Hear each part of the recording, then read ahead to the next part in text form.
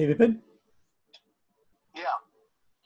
Okay, uh, I'm putting, yeah, yeah, I'm putting you on the call. Uh, I, I, I have it all recorded. It- it- The recording is going on. Uh, You know, you can, you can start. They can all hear you. Yeah. Um, sorry, guys. Uh, I lost connection to the internet, which is, of course, catastrophic just at this moment. Um, I will be back um, on the internet as soon as I can. But in the meantime, uh, welcome to the uh, Capital Markets SIG call. And I'm connected through Mani's uh, phone.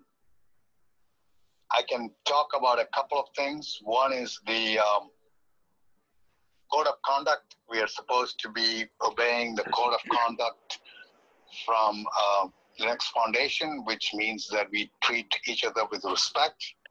The second uh, I, I- item on the list is the antitrust policy. That is the only requirement that is needed for us to be on this call. Uh, Otherwise, it's completely open. So if you do not agree with the antitrust policy, please log off the call.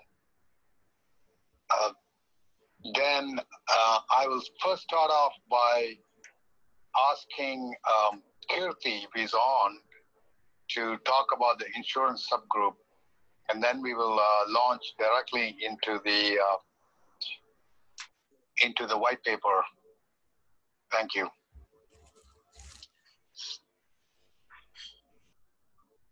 Um, thanks, Vipin. Um, hi, everyone. Um, my name is Kirti Goglamudi. Um, I'm with Civitas FinTech, uh, which is um, a startup which is based out of London.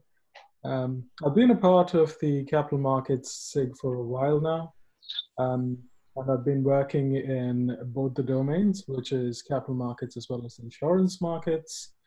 Um, I've seen that there are quite a few blockchain and distributed ledger related projects uh, which are running um, with a certain degree of maturity in Europe as well as uh, UK for the insurance space.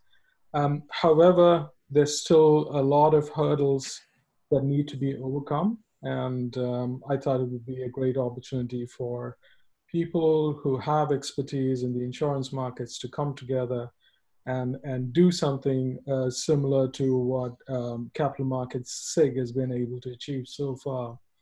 Um, some of the things I was proposing uh, are more on the lines of um, uh, building taxonomy, um, looking at uh, standardized data structures, a common domain model for insurance, and of course, there are lots of use cases uh, from B3I and other companies within um, the insurance space. So I think it's a it's a great opportunity uh, for us to kind of focus on some of these things. Um, I've also kind of looked at um, updating parts of the um, insurance project subgroup, which is uh, within the uh, wiki for Hyperledger. So there are some of the points that I speak about, uh, which are clearly articulated there. Um, I also think that there's a great opportunity to look at some of the business architecture, which is associated with um, maturity that is required for a business to be on the blockchain. So th these are some of the business problems that I'm trying to kind of address. Uh, with me, I bring in um, some more colleagues of mine who are interested in being a part of this focus group. And, and um, that's kind of the gist of the message that I wanted to kind of uh, put forth to the group and kind of hear your thoughts on um, um, what, how should we kind of progress on this and, and what, what, what could possibly be the next steps.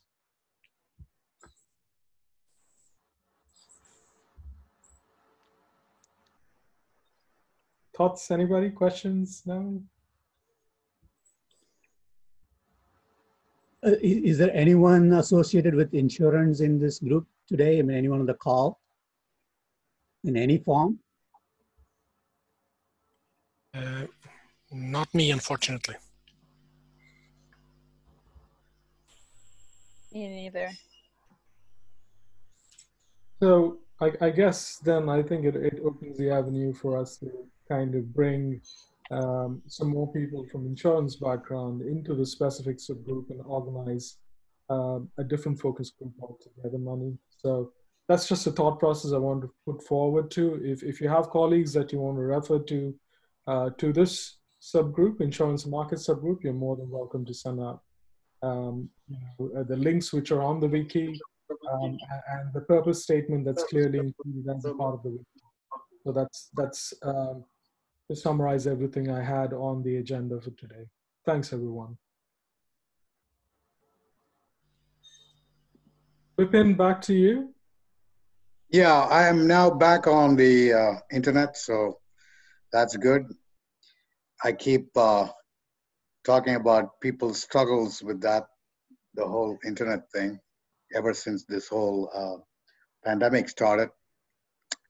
Anyway, um, Mani will start the presentation, and I will take off, uh, take um, you know, a few minutes to introduce the paper, and then uh, we'll go from there. Mani, can you share the paper, the Yeah, hold on. presentation? Yeah, hold on one second.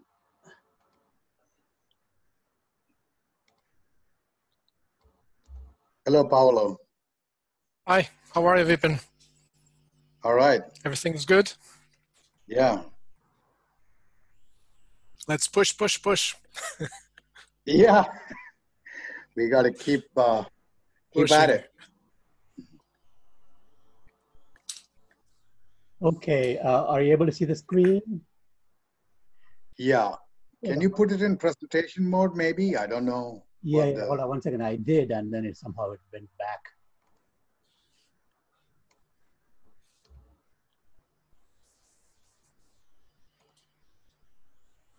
All right. I'll go here. Okay, go ahead. Okay, so the full, full paper is divided into two main sections. One is an introduction to central bank money and uh, its relation to money supply, the purpose of central banks, and so on. Most people on this call, it should be familiar, but if you're not, you can uh, take a look at it. Uh, the other uh, things in that section are the rationale for CBDC. Several people, several publications, several um, organizations have come up with uh, uh, surveys of what, why CBDC is necessary. Uh, the most important of them being, uh, you know, as part of the public um, service, that is, central banks are at the uh, you know are, are a public organization to serve the public to uh, achieve monetary stability. And one of the most important features of money which is to make uh, as a medium of exchange is to make payments. And so that is one of the central themes of why cbdc is necessary because that that brings forward the payment system into the 21st century, meaning the only way the retail can use central bank money today is using cash, but most interactions are happening over the internet with uh, online payments and so on. So payments using central bank money can only happen if public has access, direct access to central bank money. The other, you know, there are several other rationales. The other ones are mainly related to monetary policy because of the lower bound of cash at a 0% uh, monetary policy cannot be implemented properly without um, without uh, you know bumping up against that lower zero bound. Uh, but we, we do detail some of those, uh, and uh, a very good treatment is in the reference that we have in the paper, which is from ECB, which is a table based on uh, why we should have CBDC. Then uh, we go into a small discussion on the models. Um, the most important thing that we uh, detail are the fact that open market operations and other schemes that are uh, that are um, run by the central banks uh, do not reach the public directly and there are problems because of that. And also those schemes are uh, you know the central banks have very strong trading teams because they need to operate in the open market. And they are huge. So they can really swing the prices. And the open market operations uh, would also benefit by using wholesale CBDC. That's our contention. So we touched on two uh, wholesale and retail, and then we also grow a little bit into the cross-border uh, section. Now, our CBDC implementation focuses on standards. And the other thing that it does is it brings contracts into the picture and linking the contracts and payments along with the security is the main theme of the paper, meaning we are not existing in a vacuum. The payment system is not existing in a vacuum and linking both of them along with existing standards in those areas which we do which we think will keep advancing forward uh, especially with the lots of different agencies that are involved in this uh, matter but we start with what we have today just to demonstrate how we can use the standards that are today available today to implement this. And we do distinguish the contract standard from CDM from a messaging standard like ISO 20022 and others. And then we go into sketching and implementation based on this very basic uh, building block that is the dual network, we call it the contract and payments. And then we argue for a convergence. That means we do not believe that WCBDC infrastructure, the retail CBDC infrastructure, and the cross-border CBDC infrastructure should be um, implemented uh, on totally different platforms. We believe it should be integrated at least in this pattern. Uh, and then we go into the next steps for deployment, which is quite uh, extensive. Anyway, I think I've taken up more than enough time and Mani uh, should uh, continue uh, the presentation. Um, before we before we jump in, we just want to get any any inputs or opinions from anyone so far. Any questions? Well, from my side, I totally agree with Vipin. Uh, interoperability is key and standards are the basis for that. And that's why we should focus on that. Will there be a sort of an integrated model with existing financial sort of currencies towards the CDBC, or it'd be like um, a coexisting platform? No, uh, no, um, uh, none of the uh, proposals ever envisage CBDC as the only one. It is meant to be coexisting with other platforms in the beginning and let the market decide. That is one thing. The second thing is uh, if it exists along with others, other platforms, there have to be interoperability.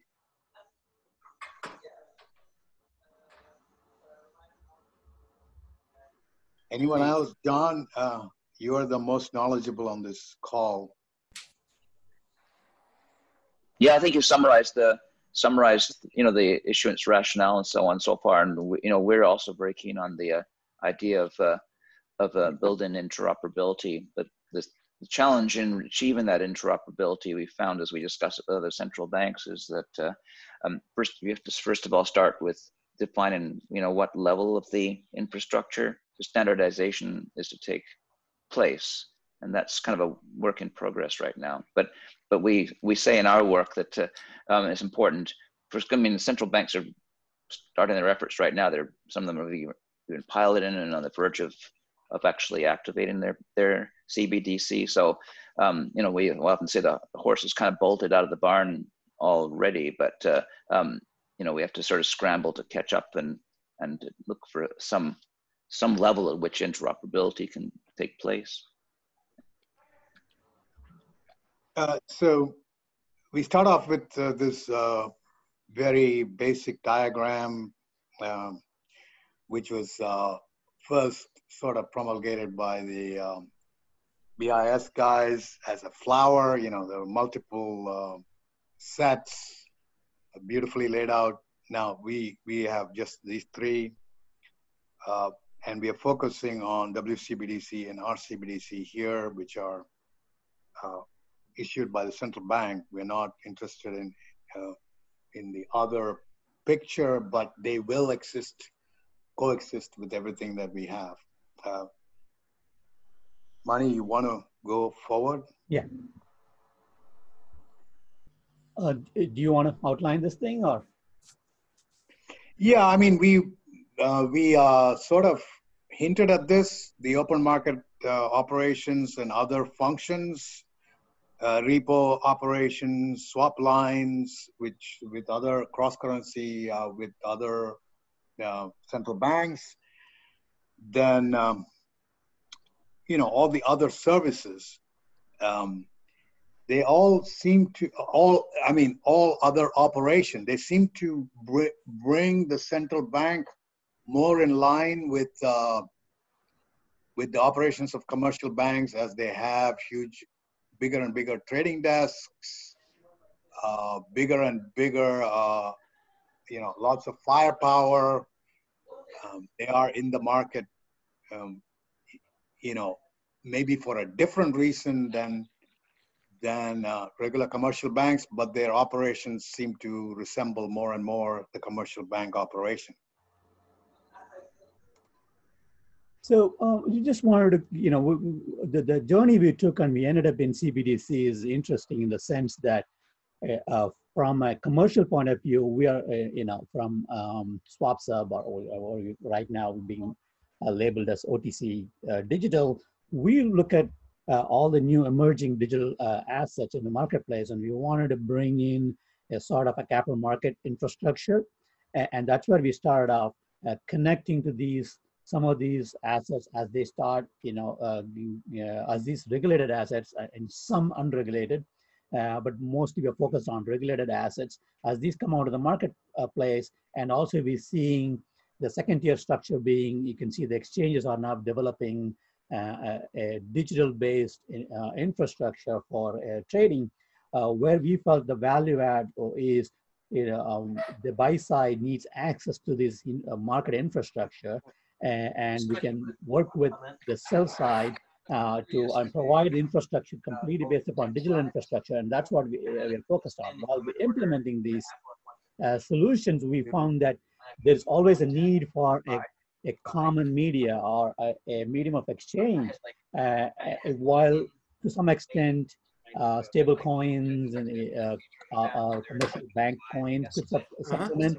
We overwhelmingly felt that there was a need for CBDC. And when we started taking a look at CBDC, the implementation, the issuance process of the life cycle very much resembles to what a commercial bank does. Uh, probably. I mean, Dan, uh, can you go on mute, please? Dan Schwartz. Of conviction. Well, it's, it's, it's conviction and also, oh, I don't want to get this bottom. I want to get the next bottom. That's not conviction. Uh, uh, uh Mani, could you? Uh, yeah, yeah. I just, I yeah. just muted, put him on mute. Okay. Um, okay. Yeah. So as this infrastructure is developed, so we, we felt that there is a commonality between what the commercial banks is uh, trying to achieve and using data and standards and what the central banks are going to uh, are trying to achieve with respect to CBDC. And hence we felt that uh, our our participation in capital markets uh, and in building standards and more of uh, specific to the digital standards would help a lot on CBDC, and that's why you know we took a, uh, a very serious interest in CBDC. Uh, that's that's the you know the reason why uh, you know we initiated an early uh, project within Hyperledger Capital Markets, which is the eThaler project. essentially, the first step to a CBDC, looking at the life cycle of a simple wholesale CBDC uh, using token taxonomy framework, which is a, another data or token standard. Uh, and then we started applying uh, how do we bring in capital market standard, which is the common domain model onto applying CBDC. So I'm going to jump into saying, you know, we are we have been associated with the um, ISDA or the uh, uh, Swap Dealers Association uh, Swaps and Derivatives Association work on CDM for the past three years. Uh, the, the, reason why a, a, a, separate digital standard is warranted as opposed to what we use today, you know, we have been using in, um, in the derivatives market and another standard called FPML uh, for almost like 15 years. The main reason is that is uh, standards like FPML, FIXML, and ISO 5020, you know, 20022 is all designed in an era where there is a, always a centralized player, and these act as a messaging uh, structure, framework, uh, or standards, or however you want to call it, as more of, more of a, a placeholder, and then the, the implementers being the centralized service providers, whether it is a central bank or a CCP or a CSD or even um, uh, market middleware providers, would make that uh, uh, specific, specifications into an actual implementation standard. And these standards can vary from uh, uh one play, one implementation or another. And we have seen this proliferation. Uh, you know, you can talk about the FIX protocol or FPML, uh, or same thing we can talk about ISO 20 or 22 standards as well. Then the, the, the Derivatives Association recognized that this will not work on in a peer-to-peer infrastructure where we are trying to deploy uh, DLTs or blockchains where you really want any party to communicate with any other party using a single data standard. And that's where we started off with common domain model. Uh, and earlier on, the focus was on derivatives. Now, in the past six months, we have added all sorts of um, assets from equities to bonds to digital assets to the uh, life cycle of uh, common domain models and uh, now this, uh, uh, the other associations covering repos and security finance have also joined forces with ISDA to comprehensively address the entire, pretty much the product life cycle of every capital market product you can think of, from commodities to uh, foreign exchange to uh, security finance, you know, derivatives and cash. So that's why we felt that uh, applying the standard uh, uniformly on every uh, DLT or blockchain implementation would that much more help interoperability uh, between uh, capital market service providers. And we felt that it's, it's very much helpful to bring the same idea to CBDC. Uh, this is simply also, yeah. Uh, CDM being a life cycle type standard also can be standalone in the sense that if you serialize the CDM, uh, all the provenance, everything is embedded in it. So it's almost like a mini blockchain in, inside itself. So you can take that CDM, serialized CDM, and move it to another, any other platform. And so it becomes uh, upgradable immediately because you are now not dependent uh, purely on the platform on which it is implemented.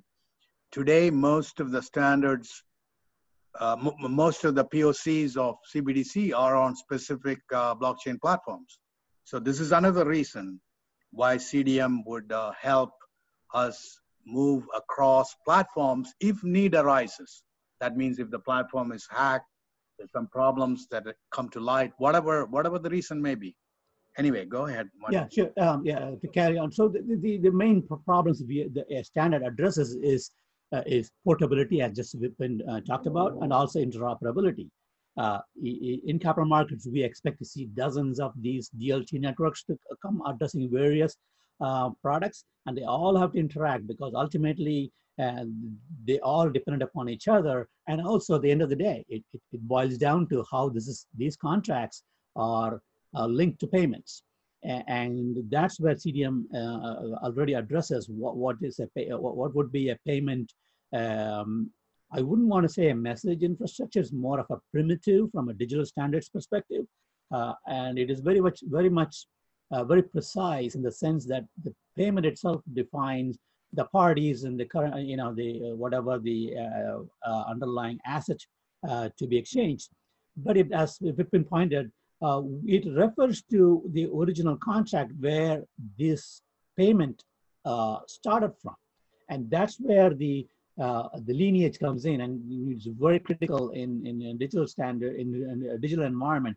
As we may be interoperating between multiple networks, it's important to know where it came from and how we uh, uh, uh, make sure that as an audit trail, not only within the network, uh, uh, it- it's not only uh, internet, but it's also inter, inter network of networks, uh, how these whole um, chain of information can be carried forward and then be, you know, validated. And that's why it, the, the standard becomes much, much more uh, uh, critical. Uh, uh, we're going to briefly touch on MPC, which is simply that eh, there are many standards for custody, uh, and there are many, many implementations. This is another area where I wouldn't want to call a standard, but a, a, a practice or, or, or different types of technical implementations are emerging. Um, one of the uh, newer ones and mostly software-based is an um, a multi-party computation. Uh, we took that approach because that gives the most, uh, as of today, the, the, the best breed of safety and a real time in nature of moving payments between parties. Um, we, you know, uh, there, as, as we said in the paper, there's a lot to cover on uh, uh, security and um, custody. We just touched upon what we felt the most uh, predominance. Uh, again, more, more closer to standards based, and this is also again taken up by uh, standards organization to bring this in, in more in line uh, as a, at another digital standard. So that's why you know we felt that it's important to highlight this. Two, two groups are working on it. One is the NIST for the threshold cryptography standard and also the MPC Alliance for the MPC standard. So they are already working on it, but uh, it's not, it's not uh, cast in stone. The standards are not yet, um, you know, released. Anyway, go ahead.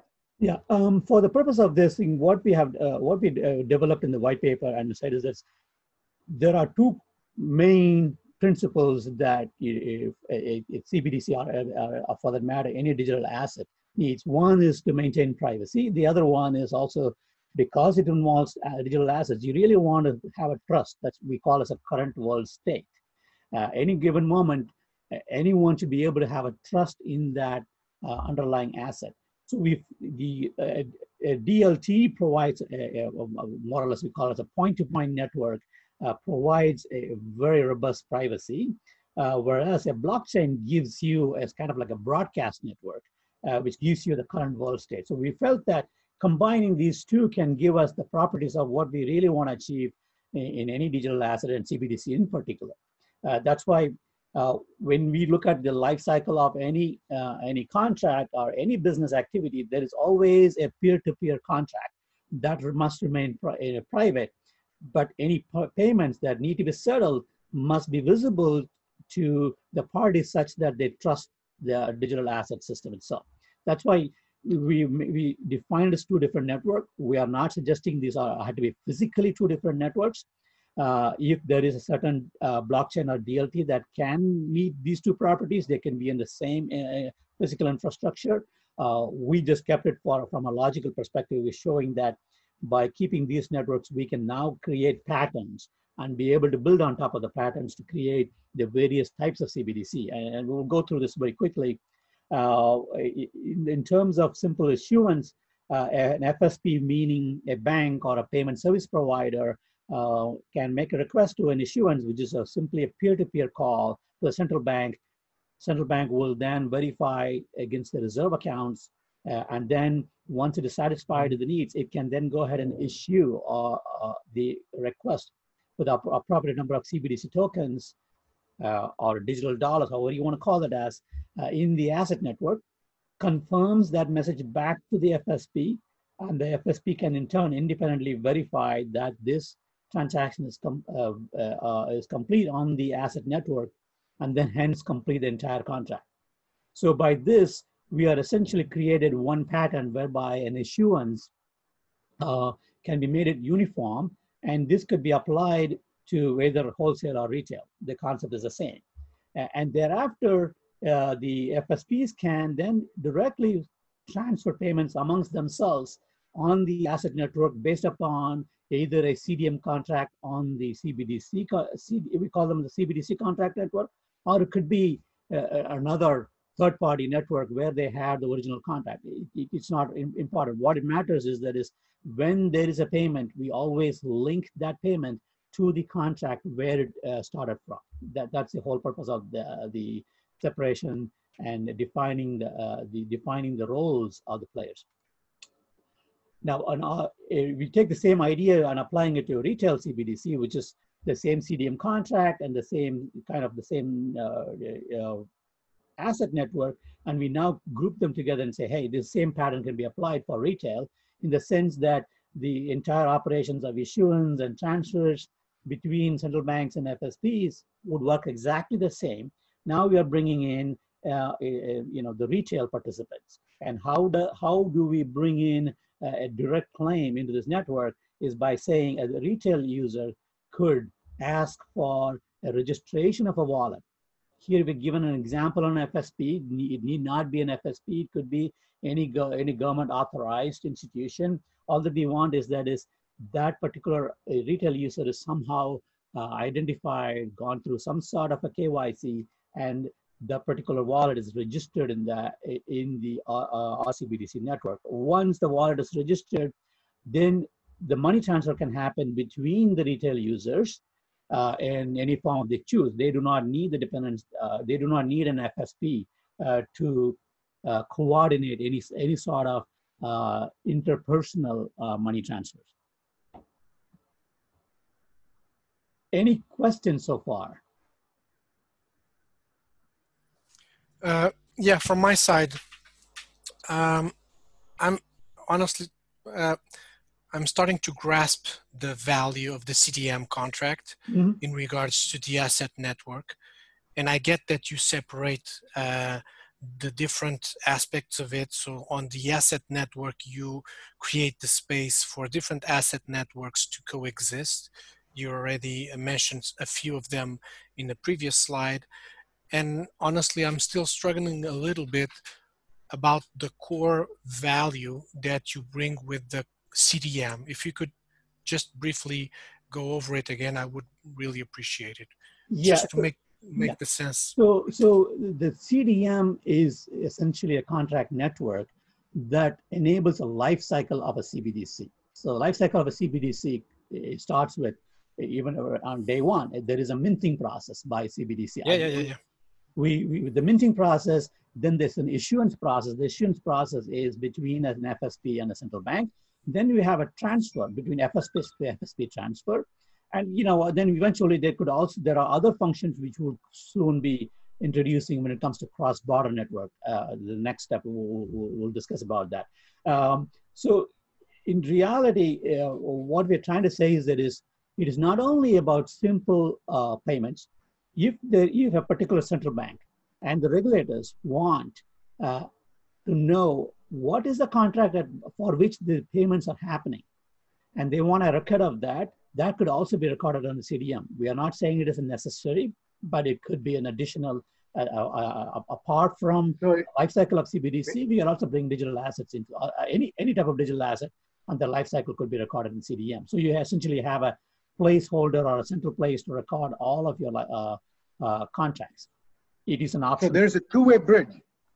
Basically, there is a two-way bridge. There's a possibility of a two-way bridge between the CDM contract and the uh, uh the the uh, CBDC uh, network.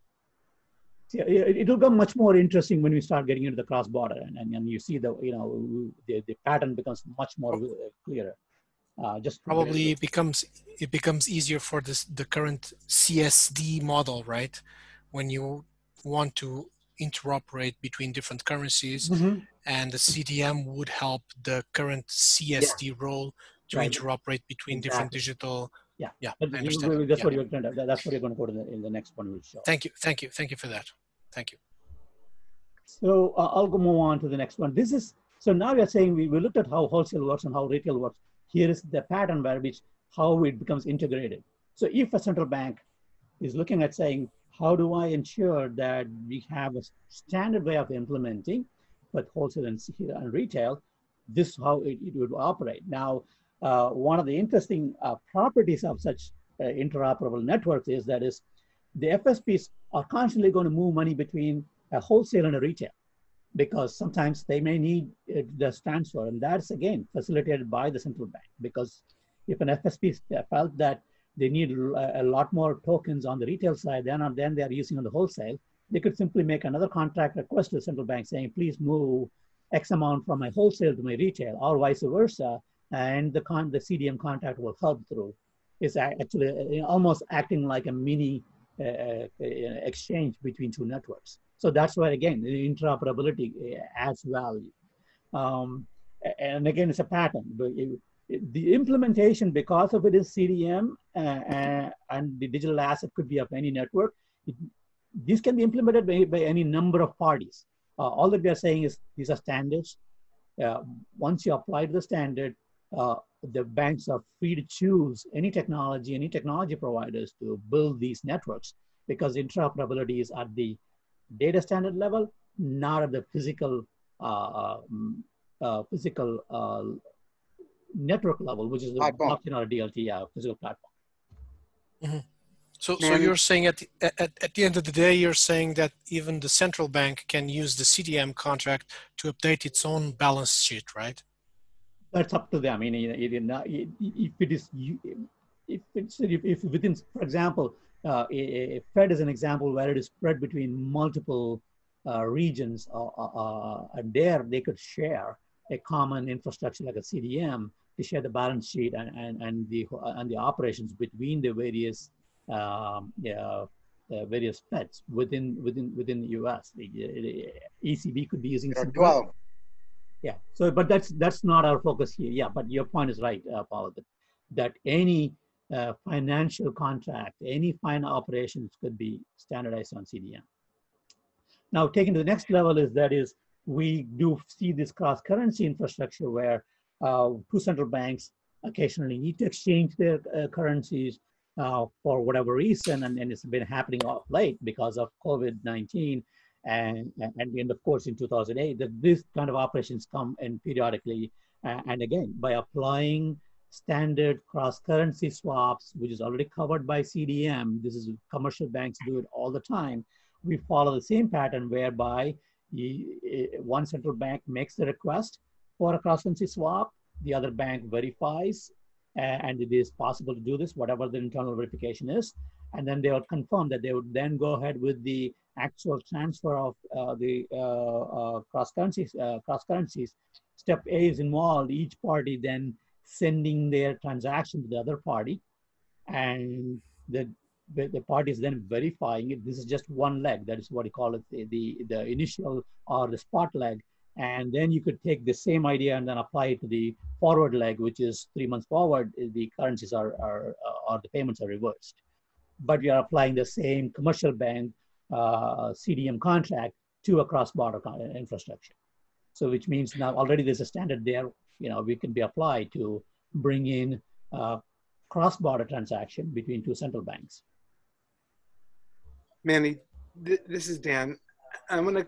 I'm still struggling, to be honest, with uh, the focus on CDM as the solution, and uh, you know, my own experience on is, is on the traditional asset side. So mm-hmm. apologies, not so familiar with the digital asset side. CDM really arose because there's there were long-lived transactions which evolved over time, and it was a way to embed the evolution of the transaction directly in the transaction itself. Meaning, if there's a rate reset, the contract itself knew how to deal with the rate reset and calculate what would be the next payment. Simple example. I can see the value of adding uh, uh, central bank digital currencies to um, to avail to be uh, to take advantage of the the templates or structures that are that will be established in CDM. And CDM, by the way, for all, um, not entirely well adopted yet. I mean, it's, it's, it's a new emerging digital standard. Yes, yeah. right. B- biggest adoption is probably in equity derivatives. Um, but okay, the problem that it seems that you're talking about is is more or less than to me it seems twofold. The first is enabling CB um, central bank digital currency CBDCs as a new cur- quote unquote currency type within um, this the ISDA realm, and the second is uh, interoperability between wallets or settlement process. And the latter, I don't think CDM really is great at accomplishing. Am I missing? I guess the, the fundamental point is what am I missing? Because those seem to me the problems you're stating, and they they yeah, yeah. seem to have different. Solutions. Yeah. So so we'll take the take the second part of the actual settlement, right? Uh, when in, in this example, there is a settlement that needs to be verified between these two central banks central bank A said, said delivered dollar and central bank B delivered, or central bank one delivered dollar and central bank two delivered euro. Uh, now those two messages, somehow they had to communicate saying that each one has to indicate what wallet they want the money to be transferred. And then the other party actually initiates the transfer. And then the, the requesting party now has to verify that the money got transferred. That's right, another area where CDM comes into the picture because it's acting more or less like a contract mechanism and looking at the simple life cycle of how do you uh, exchange payments. Uh, you know, but CDM really doesn't isn't focused on the hard mechanics of settlement. CDM is focused on the life cycle evolution right, right. of. Um, life cycle, you're, you're, you're, right, but any life cycle needs a workflow, right? Even if you take the very basic life cycle, it needs, it needs two, two parties to initiate a workflow. What CDM uh, defines is the data standard on that particular li uh, life cycle endpoints. And in this scenario, the workflow mechanism itself refers to the actual settlement. And as each part of the settlement by each central bank, it gets recorded on the ledger. And that's what, you know, you're simply repeating that CDM construct again and again to inform that you have done your part and you're waiting for a counterparty to do their part and thereby when those two parts completed, the contract itself gets uh, complete. So yeah, and so look, uh, my last point is, um, I agree with you. Well, I agree with you that abstractly, um, there's a workflow. I don't think CDM actually has huge. It has lifecycle events. I'm not certain about settlement workflow events. And I'll just there are no. Just be clarified. These are data standards. There are CDM does not rep, uh, uh, represent workflow events. They left it out as implementation, because this implementation can be very different from different networks. If you're doing, you know, in a traditional network is one way, and if you're implementing on a digital network is another way. Uh, it, it is designed to say the various states of a life cycle of, of, of any contract. And we are not even talking about, you know, if you go further into DVP uh, you know, delivery versus delivery, PVP, which we discussed now, uh, or even simple, sometimes single payment. All of these things are covered under uh, uh, under a, a, under a contract uh, which comes from a original source of a contract. You know, that's where the, the real value add keeps coming. I agree with you on the simple fact. If I have a simple messaging to send a payment across, why not ISO, you know, standard or even a FIX messaging protocol would not would work. And again, this is where I, we originally discussed. These were standards proposed in a centralized environment where there is a central party would step in and define these standards. We are now moving completely or moving towards an enabling a peer-to-peer economy uh, where there are no centralized player who could step in and define the standard, and hence the standard itself is to be precise. Yeah, standard can we can we proceed with the, with the talk? and we can answer some of these uh, questions uh, later on. And your uh, question has been noted, uh, Dan, and your skepticism about the use of CDM in this context is noted. Thank you. Thanks. Uh, and apologies for derailing. No, no problems, no problems. Okay.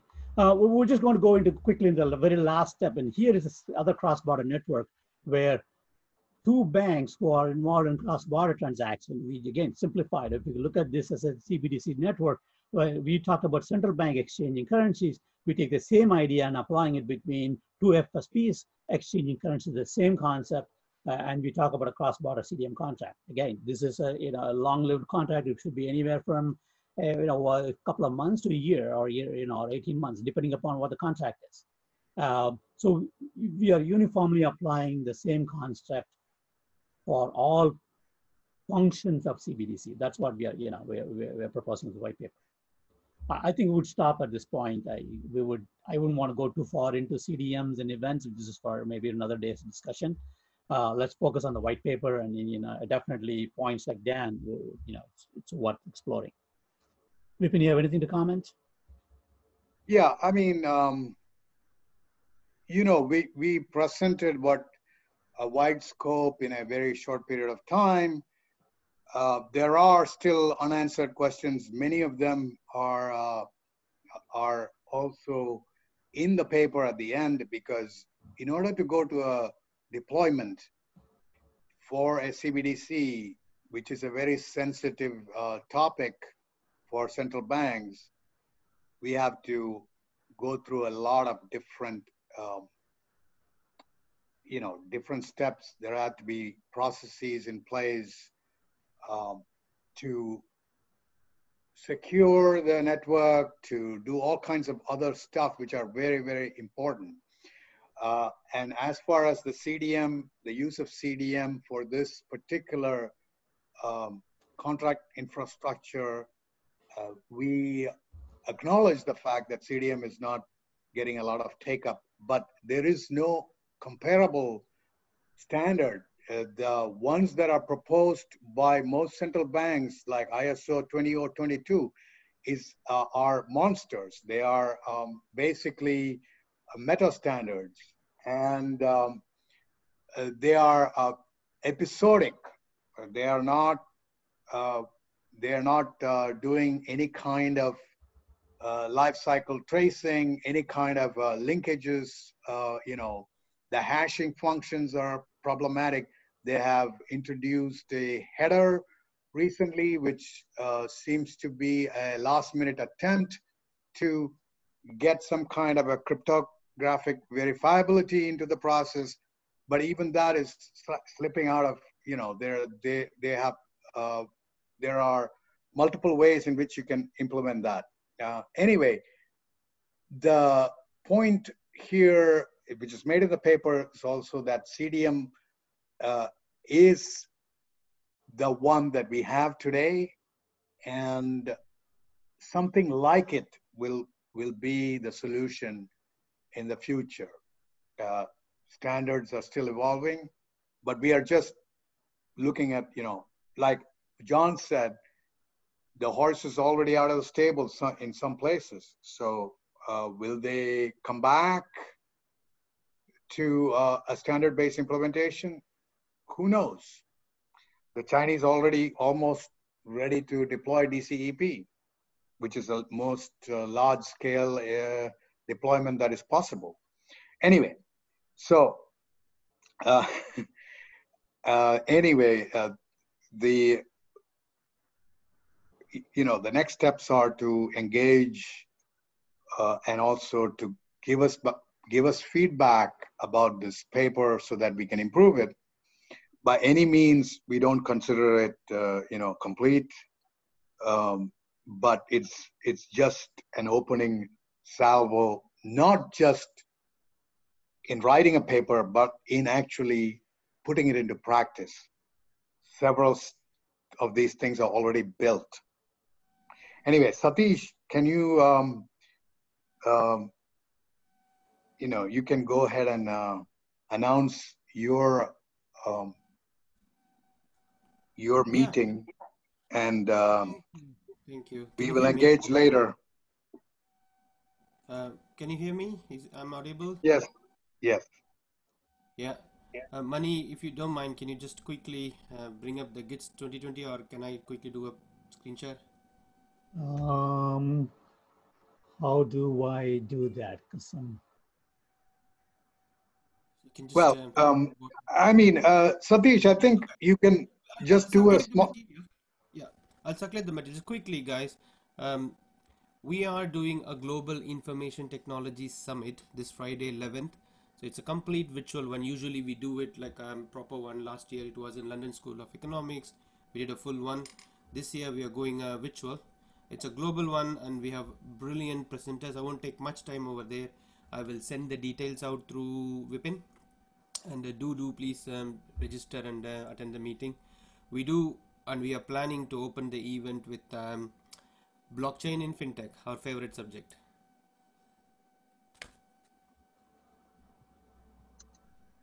Any queries you can just um, you know ping me. Uh, my email is on the on the on the network so you can just uh, send it across to me if you have any queries in registering So, thank um, you Mani, any last thoughts before we close? No, no, you, we- you know, we, we wait for anyone else to give their comments. Uh, you- uh, Obviously, we will, can you, can you indicate how they can provide us the comments back to us?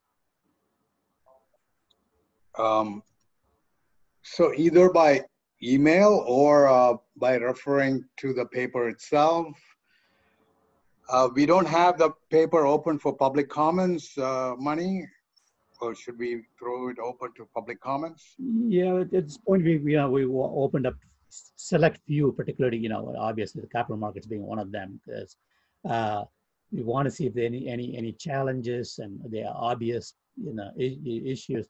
Maybe we, we, we could take a, uh, some time with Dan and see his concerns and really understand, and that would be worthwhile. Uh, otherwise, the Hyperledger itself, they can put their comments, right? I mean, they can log into Hyperledger and, and, and re- register the comments, correct? So it's for everyone. Yes, we can, uh, we can actually uh, have a page specifically devoted to that. And uh, So everyone can see their comment on that. comment. Yeah, that'll be easier for everyone to see their, their comments. All right. Thank you. Any Thank other guys. comments at last minute or, or Yeah, well, from my side, I, I I think it's really important to have a specific page to share with the with the Hyperledger community because I see, uh, at least I have the perception that the CBDC discussion is is picking up within the Hyperledger community, and it's going to be a topic in in in this week's summit. So if we could at least mention the work that is being done here, I think it would be valuable for the whole community.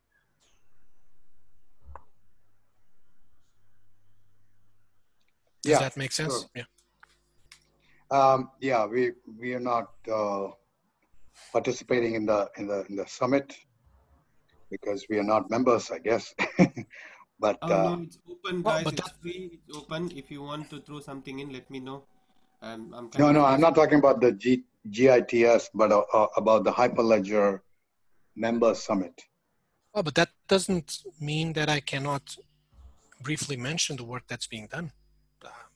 Oh, yeah, yeah, Right. sure. You should, you should mention it if it, uh, if it intrigues you and if it is, if you think it is important. Yeah, I think it, I think it's important, and I think it the value should be given to the people that are driving this discussion here. So, so regardless of the membership approach, I think it, it, it makes sense to at least mention the work that you're doing on the standard side because it will benefit a lot of players. Thank you. So that's it. Um, we will um, convene the next meeting. It's going to be an interesting one with uh, Tangem talking about their disconnected uh, CBDC approach, which is uh, smart card based.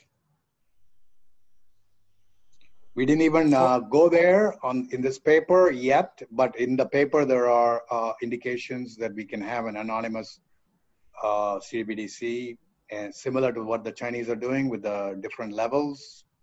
Uh, that means if you have a, a level two or level three um, wallet then you can only hold so much and you can only transact so much without KYC.